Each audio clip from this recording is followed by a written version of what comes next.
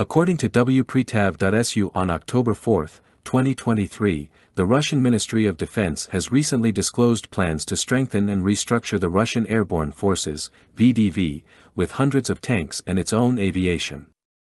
These developments are taking place amid the ongoing war in Ukraine, during which Russian airborne troops have demonstrated adaptability in executing a range of military tasks. Though comprehensive details of this reorganization are still forthcoming, some key elements have been disclosed. According to the publication, the Ministry of Defense's decision to enhance the organization and equipment of the airborne forces was officially announced on October 2. This decision represents a significant change in the way airborne troops are structured and equipped, with the primary goal of improving their combat effectiveness and adaptability. While specific details regarding the numbers and units set for reinforcement have not been officially revealed, the core of the plan involves an expansion of tank units within the airborne forces. This expansion will require an increase in the number of tank crews. However, exact figures, such as the number of tanks to be added or the specific divisions to receive reinforcements, remain undisclosed at this point.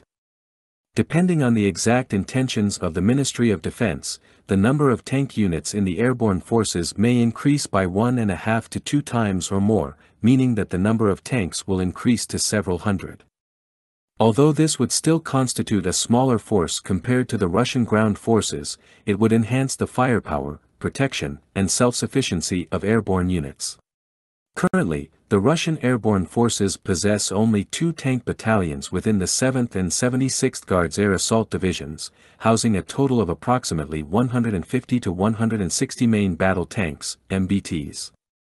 Other units rely on airborne light armored vehicles such as the 2S9 Nona S 120mm self-propelled mortar and the BMD, 4M infantry fighting vehicle, FV.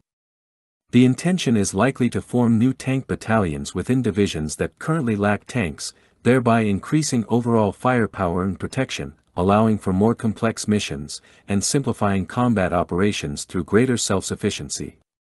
In conjunction with the bolstering of armored capabilities, the airborne forces will establish their own Army aviation units, replacing similar structures within the aerospace forces.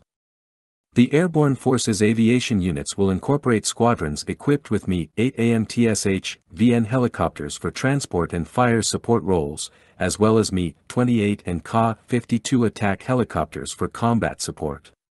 These units will ensure greater autonomy and synergy within airborne formations, providing enhanced support to airborne formations, whether they are operating on the front lines or conducting operations deep behind enemy lines.